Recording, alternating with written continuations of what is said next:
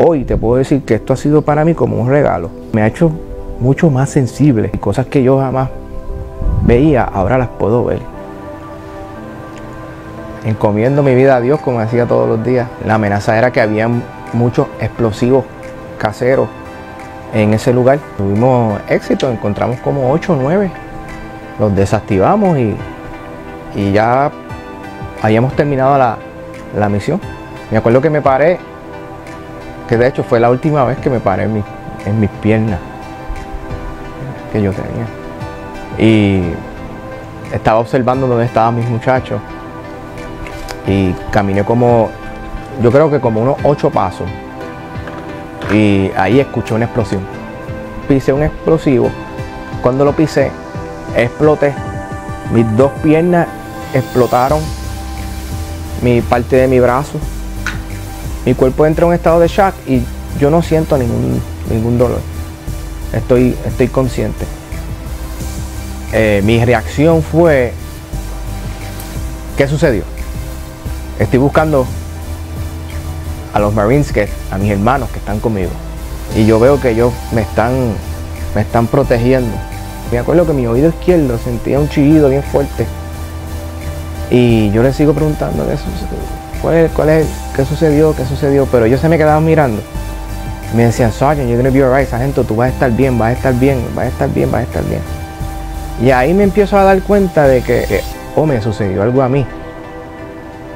Me dio un sueño bien profundo. Y era la, toda la sangre que estaba perdiendo, era que me estaba muriendo. Seguía sangrando. Entonces, uno de los muchachos que estaba conmigo, que es uno de los médicos, el Corman, él cogió el dedo pulgar y lo puso en la, arteria femoral para parar la sangre. Y así fue que él, me salvó la vida. Uno de los, muchachos que está conmigo, me acuerdo que él me agarró, me agarró el, casco. Y él me agarró el casco y me dice, Sargento, tú no te vas a morir hoy. Y me preguntaba, ¿cómo se llama tu esposa? Y yo, Rosemary, ¿cómo se llama tus hijas? Y yo, Nairobi, Genesis. Me dice, tú no te vas a morir hoy. Tú vas a ir para tu casa estoy contento, estoy alegre y le doy gracias a Dios porque el Señor me guardó, que estoy vivo, aunque me faltan mis pies y una mano, pero como quiera puedo adorar a Dios. Entonces pues yo estaba contento, que estaba vivo. Pero al pasar los días y darme rescatarme de mi pérdida física. Me embarató el alma, que no sabía vivir así. Cuando yo veo que está montando una silla de ruedas, que no puedo entrar por la puerta, que se me hacía difícil entrar al baño, que mi esposa está haciendo cosas que normalmente yo hacía, que yo estoy arrastrándome en el piso, que no podía mirarme en el espejo. Porque cuando me miraba en el espejo yo, yo decía, yo no quiero, este no soy yo, este no es mi cuerpo.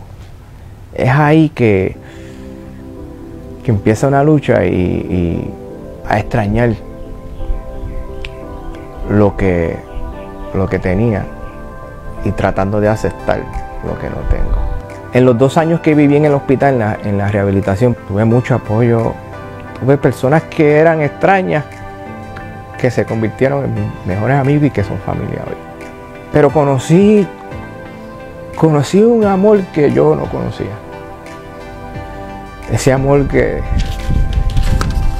que yo prometí, que mi esposa me prometió cuando nos casamos.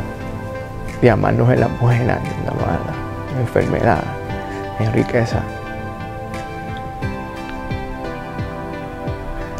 Yo no,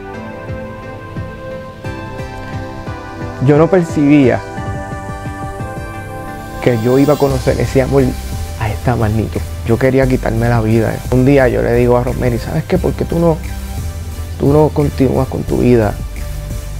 Y yo me quedo aquí.